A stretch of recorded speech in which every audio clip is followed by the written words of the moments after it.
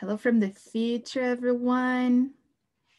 Como que foi o dia de descanso de vocês? Me conta aí o que, que vocês fizeram, como que vocês decidiram descansar, se vocês assistiram um filme, um seriado, se vocês escolheram um jogo.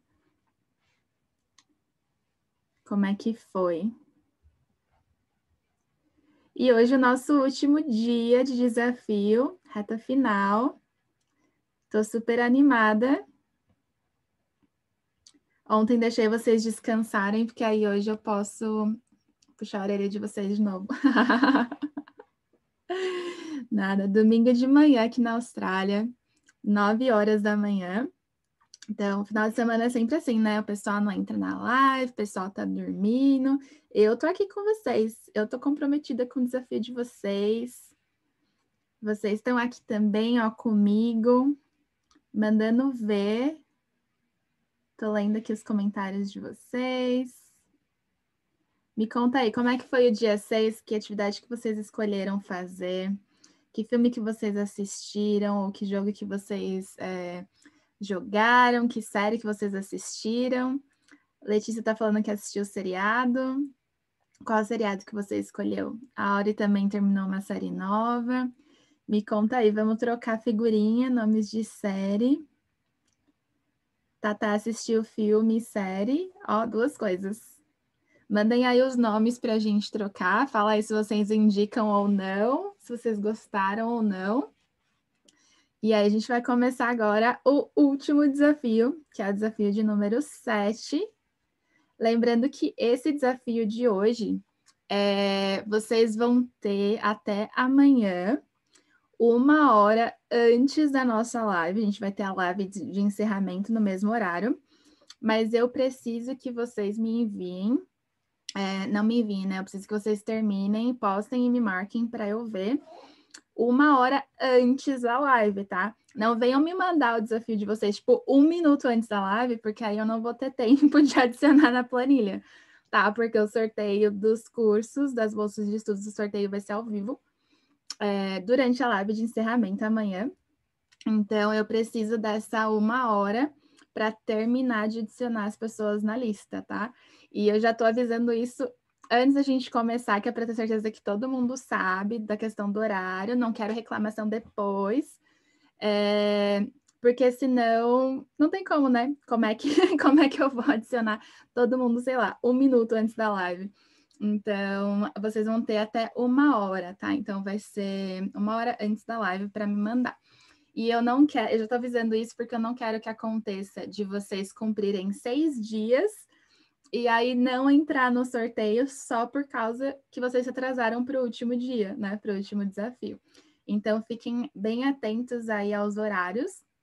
É, vai ser até segunda-feira, 8 da manhã, horário de Sydney ou horário do Brasil do domingo até às seis da tarde, tá? Então fiquem aí atentos para vocês é, terem o horário certinho para vocês mandarem. Beleza? Então, uma hora antes da live. Então, partiu falar sobre o nosso desafio do último dia.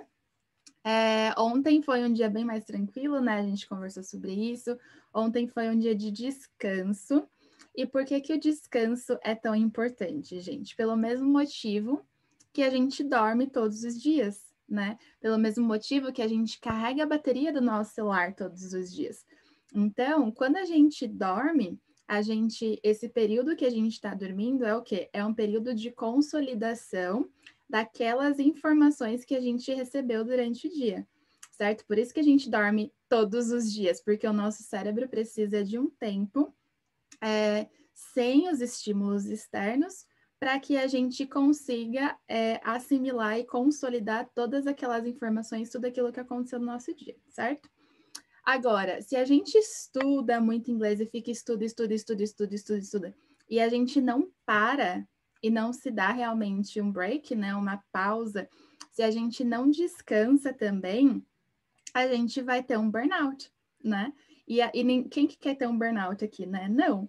E, e, eu vou falar assim que o problema de muitos dos meus alunos não é nem a questão de estudar pouco, é estudar muito, né? E aí, quanto mais a gente estuda, menos a gente tem tempo para praticar, Então, lembra, a gente já falou da diferença de estudar e praticar, né? Que são duas coisas diferentes. Então, se a gente está ali o tempo todo só estudando, estudando, estudando, estudando, só colocando mais conteúdo, mais conteúdo, mais conteúdo, e a gente não tem tempo de praticar aquilo que a gente está aprendendo, é, a gente é igual um balãozinho, a gente vai estourar, porque vai chegar uma hora que a gente não vai mais conseguir colocar conteúdo para dentro, a gente vai ficar cansado, a gente vai ficar frustrado, depois vai chegar na hora de praticar a gente tem um monte de informação ali na nossa cabeça, tudo misturado, né? Desorganizado, e a gente não consegue pôr para fora. E aí isso gera os, blo gera os bloqueios, né?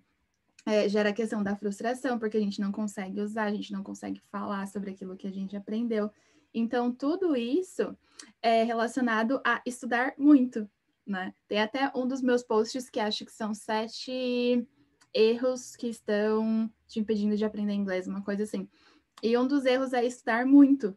Por quê? Porque aí você está se forçando muito e inglês gera aquele sentimento de obrigação, tá? Então, estudar muito não é o que vai te levar à fluência. Praticar muito é o que vai te levar à fluência, né? Claro que a gente precisa estudar sim, tanto que o nosso primeiro dia foi de estudo. Mas hoje é o último dia do desafio. Então, eu imagino que vocês já devem ter percebido que a prática é muito mais importante do que o estudo, né? Porque a gente fez um dia de estudo, é, quatro dias de prática, um dia de descanso até agora, né? Então, todo esse processo que a gente está fazendo essa semana faz parte, né? E por isso que a gente está fazendo esse processo para tornar o inglês uma coisa mais leve, tornar o processo de aprender inglês uma coisa mais simples é, e que a gente realmente, que a gente curta o processo, né? Então, assim, ah, beleza, então eu vou descansar, não vou fazer absolutamente nada em inglês. Não, é aquilo que a gente fez ontem, né? Você também pode descansar em inglês, você pode assistir um filme, você pode ouvir uma música, você pode, sei lá, fazer karaokê, né? Você pode jogar jogos em inglês, você pode sair com seus amigos e conversar em inglês. Por isso que o dia de ontem foi o freestyle, né? Porque aí eu deixei vocês escolherem qual que é a atividade que vocês queriam fazer. Então, vamos ver aqui os comentários de vocês. A Tati falando que o descanso foi aula de dança. A Hora assistiu Firefly Lane. A Leia assistiu How to Get Away with Murder. A Janete assistiu Spirit. Muito bem. Tata assistiu Final Hannah e This Is Us. Muito bom. Perfeito. Ah, a Tati deu aula. Curtir o processo é o mais legal. Exato, a Iso falando mais prazeroso.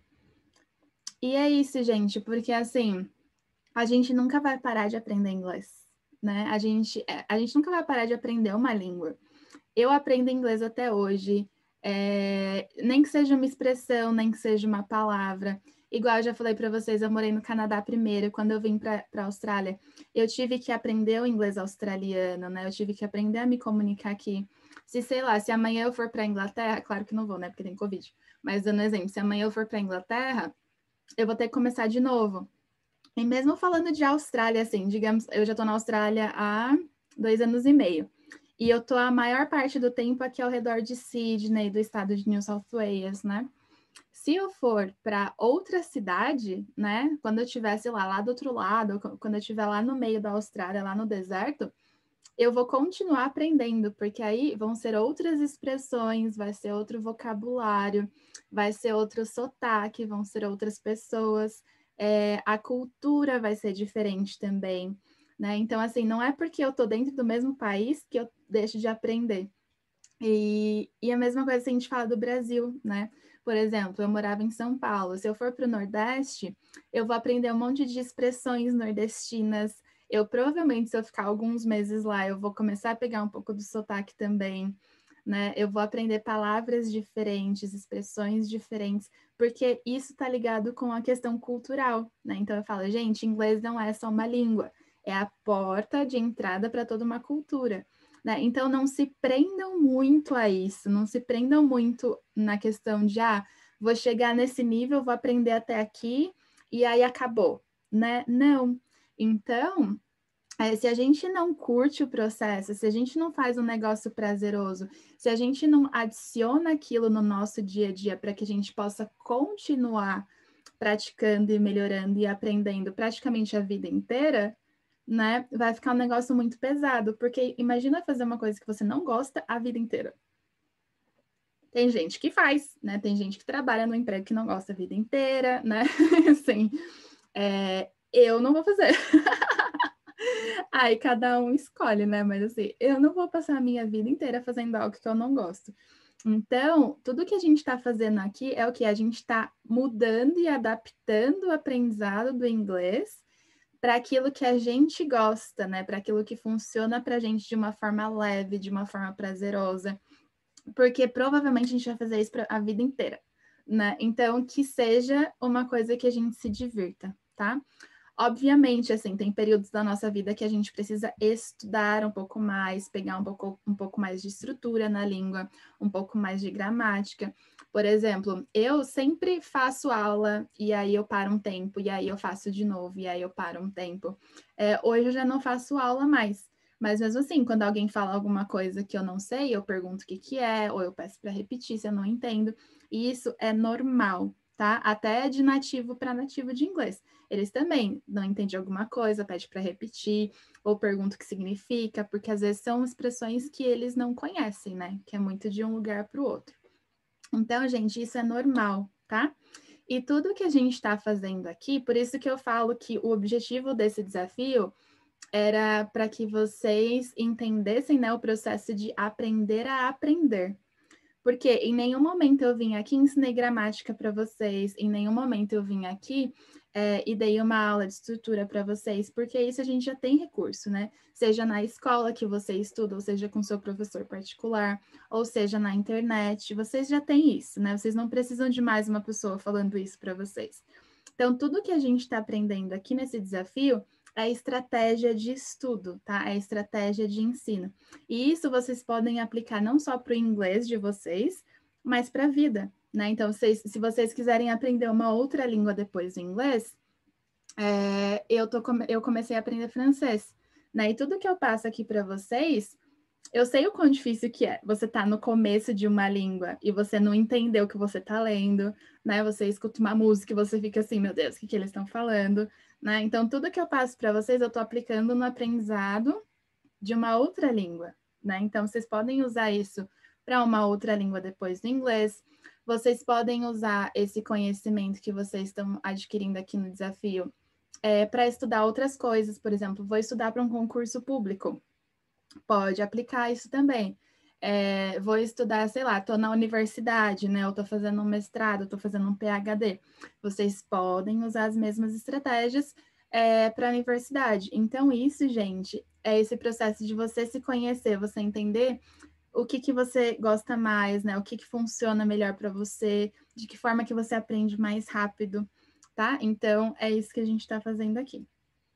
Então, o dia de ontem descanso foi super importante, né? Principalmente foi provavelmente uma sexta-noite ou um sábado aí para vocês.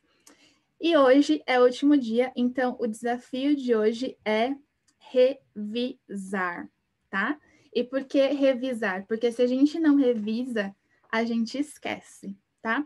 É, o último dia da semana, né? O último dia do nosso plano de estudo, ele é sempre um dia de revisão porque o processo de revisar é o que vai consolidar e juntar, é meio que a cola que vai grudar todos os pontinhos do que você fez todos os outros dias, tá? Então, se você não revisa, você não consolida o aprendizado e aí você começa a jogar mais coisas por cima, né? Então, se você está sempre aprendendo, aprendendo, aprendendo, aprendendo, aprendendo e você nunca volta para revisar, o que que acontece? É, eu não tenho folha de sulfite aqui, mas é como se você tivesse um bloco de folha de sulfite e aí você aprende uma palavra nova. Aí você coloca uma folha de sulfite na mesa. Essa folha representa uma palavra nova. Aí você aprende outra palavra, você coloca outra folha por cima. Aí aprendi uma expressão nova, coloquei por cima. Aprendi mais uma. Então você vai fazendo o quê? Você vai empilhando palavras, expressões novas, né? Uma em cima da outra. Se você não para para revisar, para você voltar e olhar todas essas folhas que você já empilhou, quando você chegar num, num, determinado ponto, né, você já não lembra qual que era a palavra que estava lá embaixo. Você já não lembra que folha que você colocou lá atrás, né? Então, o processo de revisão é você voltar e consolidar, né? A revisão ela é a cola do seu conhecimento, certo? Então, quando eu falo assim de aprender, é, eu falo muito de três coisas. A gente tem informação, conhecimento e sabedoria. Informação não é conhecimento, conhecimento não é sabedoria. São três coisas diferentes. Então, como que funciona? Quando um professor te ensina alguma coisa, ele está te dando uma informação, né? Ele está te dando um pedaço ali de uma informação, certo? Ele está te dando aquela palavra nova. É, então, esse é o processo de informação. Então, digamos que o seu professor ele está te dando informações, né? O seu professor não pode te dar conhecimento. O conhecimento ele vem de você. Seu professor ele te dá informação, ele te dá conteúdo tá? Eu aqui, eu não posso dar conhecimento para vocês, porque o conhecimento está aí dentro, né? O conhecimento vem de dentro. Eu posso te dar informação, e aí o que, que a gente faz? A gente pega essa informação e a gente transforma em conhecimento, tá? Então, o que, que é o conhecimento? O conhecimento é quando eu pego aquela informação que o meu professor me deu, aquela informação que a Aline me deu, e aí eu uso. Então, eu estou construindo meu conhecimento. Eu faço os meus exercícios, né? Eu faço ali a minha homework, eu faço a minha revisão, então eu estou construindo aquilo, eu estou transformando aquela informação em um conhecimento, que aí é uma coisa que vai estar tá dentro de mim, dentro do meu cérebro, e eu vou me lembrar daquilo, né? E a gente não se lembra de tudo, muita informação ela só passa, né? Agora, a informação que a gente processa e transforma em memórias é o conhecimento, tá? Comenta aqui se faz sentido. E aí, do conhecimento, a gente vai para a sabedoria. O que, que é a sabedoria?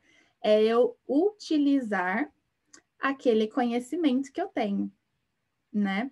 Então, quando a gente fala de inglês, a informação é o que o, prof... o, que o professor te disponibiliza, né? Conhecimento é o que você está usando ali, aquele, aquela informação. Então, você está fazendo os exercícios, você está assistindo o vídeo, você está participando do desafio, né? Tudo isso é o que? É você construindo o seu conhecimento com aquela informação que você acabou de receber. Agora, o que você vai fazer com esse conhecimento, aplicando ele na prática, né? Então, o que, que você vai fazer depois do desafio? Você pode não fazer mais nada, e voltar à sua vida de antes, né? Ou seja, você não transformou seu conhecimento em sabedoria, ou você pode começar a aplicar aquele conhecimento na prática, na sua vida, no seu dia a dia. Então, a partir de amanhã, é semana 2, você vai fazer todos os sete dias de novo, né? De, com um outro tema. Você vai escolher o segundo tema e continuar. E aí, conforme você vai aplicando esse conhecimento que você construiu, isso é sabedoria, tá? Então, a sabedoria é o conhecimento aplicado, certo? Então, é, quando vocês saírem aqui do desafio, eu não quero que vocês deixem todos os conteúdos na gaveta, né? Ah, eu imprimi todos os desafios, fiz todos, agora vou pôr na gaveta, vida que segue, deixa eu voltar para o trabalho, né? Não, eu quero o quê? Que vocês realmente continuem praticando e buscando mais coisas é, rumo à meta de vocês, a meta que a gente criou lá no primeiro dia, certo? Então, hoje, dia de revisão para ajudar vocês a transformarem esse conhecimento em sabedoria, né? Ajudar vocês a passarem por esse processo. Existem mil e uma formas diferentes de revisar um conteúdo, tá? Eu vou ensinar para vocês uma maneira simples. Então, como que vocês vão fazer? É, no dia de hoje, vocês vão pegar todos os exercícios que vocês fizeram desde o primeiro dia, incluindo a meta SMART de vocês, e vocês vão revisar tudo, desde o primeiro dia. Então, não vai fazer de trás para frente, tá? Volta lá no dia 1 e faz meta smart, né? A lista de temas, dá uma olhada na sua lista, vê se você cumpriu, vê se você aprendeu mesmo aquele tema. Aí depois, dia 1, dia 2, até dia 6, tá? É, então, vocês vão reler tudo o que vocês escreveram, todos os exercícios que vocês fizeram, Vocês vão ver se tem alguma coisa que vocês já não se lembram, né? Porque já passou e vocês vão reler de novo.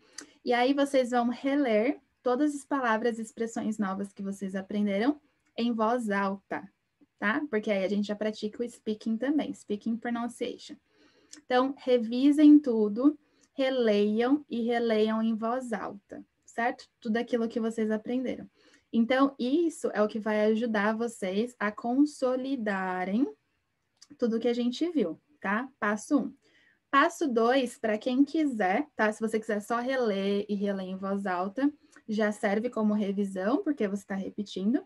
Se você quiser ir mais além, o que você pode fazer também é tentar usar, tá? Algumas daquelas palavras ou expressões que você aprendeu e montar as suas próprias frases, tá? Então, pega ali, ainda dentro do tema que você escolheu, obviamente, é, escolhe algumas palavras ou algumas expressões e tenta montar as suas próprias frases ou a sua própria historinha, tá? Parecido com o que a gente fez no dia de writing, certo? É, então, você pode fa fazer isso escrevendo, ou você pode fazer isso falando, como ficar melhor para você, certo? É, isso para quem quiser, essa parte não é obrigatória dentro do desafio, tá? Então, eu quero que vocês voltem, revisão, releiam tudo que vocês fizeram e aprenderam desde o dia primeiro, é, releiam em voz alta, e aí parte 2, para quem quiser se forçar um pouquinho mais, é tentar montar suas próprias frases com aquele conteúdo que vocês aprenderam, certo? E aí, o desafio final para vocês entrarem no sorteio e a gente encerrar os sete dias com chave de ouro é o quê? Depois que vocês fizerem isso, eu quero que vocês gravem um videozinho de um minuto é, contando o que vocês aprenderam no desafio. E aí, esse videozinho final, ele pode ser em português ou em inglês, tá? Esse videozinho, ele não é parte da, do inglês em si, a menos que você queira fazer inglês também não tem problema. É, mas esse videozinho é mais para eu saber o que, que vocês tiraram do desafio, desses sete dias, certo? E também é uma forma de vocês é, revisarem essa semana e pensarem em tudo que vocês aprenderam, certo? Então, nesse videozinho, me conta assim, como que você estava se sentindo no primeiro dia, é, como que você está se sentindo hoje, depois de sete dias, né? Realmente para a gente fazer esse, como se fosse um mapeamento do antes e o depois. Então, me conta como que foi, me conta se você sente que você conseguiu realmente aprender com esse processo que a gente fez essa semana, é, se você aprendeu palavras novas, se você aprendeu expressões novas. Então, eu quero que vocês façam realmente esse videozinho e aí vocês me marquem também, tá? É, e por ser o último desafio, como eu falei no começo, vocês precisam terminar essas atividades, incluindo o vídeo. Lembrando que o vídeo pode ser em português ou em inglês, então aí já tem um. Não vou, tipo, matar vocês, né? Fazer todo mundo postar vídeo. É, e aí, esse videozinho, vocês me marquem, né, com o último desafio, até às 8 da manhã de amanhã, tá? Ou às 6 da noite de domingo, no horário do Brasil. Ou seja, uma hora antes da nossa live, certo? Porque a nossa live de encerramento vai ser amanhã no mesmo horário. Então, amanhã às 9 da manhã de Sydney, eu vou estar aqui ao vivo com vocês, vai ser a nossa live de encerramento. E nessa live é onde eu vou fazer o sorteio das bolsas de estudo que eu comentei com vocês desde o primeiro dia, certo? Então, para todos que cumpriram os sete dias de desafio, inclusive esse de agora, esse de hoje que eu, que eu acabei de passar para vocês, até amanhã de manhã, é, vai, eu vou ter a minha listinha, né? Tenho ali a minha planilha de todo mundo que está fazendo os desafios, e aí eu vou sortear quatro prêmios, tá? E mesmo para as pessoas que não forem sorteadas, mas que estiverem aqui ao vivo, vai ter presente, vai ter surpresa, certo? Então, o que, que você precisa fazer para participar do sorteio? Terminar todos os sete desafios até amanhã às oito da manhã, horário de Sydney, certo? E lembra de postar e me marcar, porque eu preciso ver. É, não precisam me mandar por dois lugares, tá? Não precisa me mandar por Instagram e por e-mail. O e-mail é só para quem não tem Instagram, tá? Porque aí vocês acham que estão me ajudando e na verdade atrapalhando, porque aí eu tenho que te ver duas vezes, né? Aí eu vou lá na lista e aí eu vou ver que o seu nome já estava. É, então, isso não acelera o processo, tá? Isso faz com que eu demore mais para olhar todo mundo. Então, se você tem Instagram, é postar no Instagram e me marcar, que assim que eu vejo, eu dou lá o like, eu já mando um comentáriozinho para vocês, vocês já sabem que eu vi, tá? Então, o e-mail é só para quem não tem Instagram, tá? Porque tem algumas pessoas que estão participando só por e-mail. Beleza? Então, vamos nos ajudar. E aí, todos os exercícios prontos. Quem tiver atrasado, não tem problema. É, vocês têm até amanhã, às 8 da manhã, horário de Sydney, para terminar todos os que estão atrasados. Certo? Incluindo o desafio de número 7. Ah, tá, tá postar e me marcar, certo? E-mail é só para quem não tem o um Instagram, certo? Então, todos os desafios é postar, me marcar. Lembrando que se o seu Instagram é privado, você tira um print da tela e aí você me manda o print por mensagem é, no Instagram para eu saber que vocês fizeram. Uh, tô super animada. É, a gente tem vários prêmios e é, um dos prêmios são todos os meus cursos de uma vez. Ou seja, alguém vai passar o ano de 2021 inteiro comigo. que a gente vai fazer inicialize, socialize, profissionalize. Então, no mínimo, essa pessoa que ganhar todos os cursos vai passar, acho que no mínimo uns 9, 10 meses comigo esse ano. Então, ó, se preparem. É, a gente tem, se eu não me engano, são quase 3 mil dólares em prêmios. Tá? E vão ser quatro, são, serão quatro pessoas sorteadas. Então, as chances são muito grandes. É, o primeiro prêmio, eu nem lembro agora, mas está na apresentação de amanhã. Mas o primeiro prêmio, se eu não me engano, são todos os cursos, né? Então, os, os três cursos online que eu tenho que é o Inicialize, Socialize e Profissionalize. O segundo prêmio são dois cursos, então Inicialize e Socialize. É, o terceiro prêmio é o Inicialize. E o quarto prêmio é uma sessão de mentoria comigo. Então, alguém vai passar uma hora e meia conversando comigo também. E aí vocês podem perguntar todas as dúvidas, eu vou entender mais a dificuldade de vocês e ajudar dentro daquela uma hora e meia é, da forma com que eu consigo, certo? É, e obviamente, assim, se vocês já, se você já é meu aluno, se você já fez algum dos cursos, a gente troca para outros, caso vocês sejam sorteados. Estou perguntando o desafio do áudio é para te mandar. Não, o desafio do áudio, que foi o dia 5 do speaking, vocês podem só é, postar uma foto, né, do exercício ou de vocês ali fazendo, mas não precisa me mandar o áudio, tá? Não precisa. Inclusive, algumas pessoas no dia do speaking, ao invés de gravar áudio, já gravaram vídeo. Pessoas corajosas. Eu demorei muito tempo para gravar vídeo no Instagram. Eu morria de vergonha. E quando eu mudei de português para inglês, eu morria de vergonha de novo. E eu falava assim, eu tenho que vencer essa vergonha, né? Como é que eu vou ajudar as pessoas a vencerem a vergonha delas? Se eu tô com vergonha de aparecer no Instagram também. Então, mas isso é, é o medo de julgamento, é medo de public speaking, né? Inclusive, a maioria dos meus amigos que são nativos de inglês, eles não gostam de aparecer, assim, mesmo inglês sendo a primeira língua deles. Não importa. Já chamei amigo meu para fazer live comigo, eles assim, eu aparecer nem a pau, nem se você me pagar. Não, ah, tudo bem, vamos manter amizade então, né? É, amigos, amigos, negócios à parte. é, então, realmente, né? Isso aí é public speaking. E lembrando que se não te desafia, não te muda, né? Não te faz crescer. Então, confia que isso de gravar vídeos é um ótimo desafio. É, e eu sei que vai é, ser muito bom no final para muitas pessoas aqui.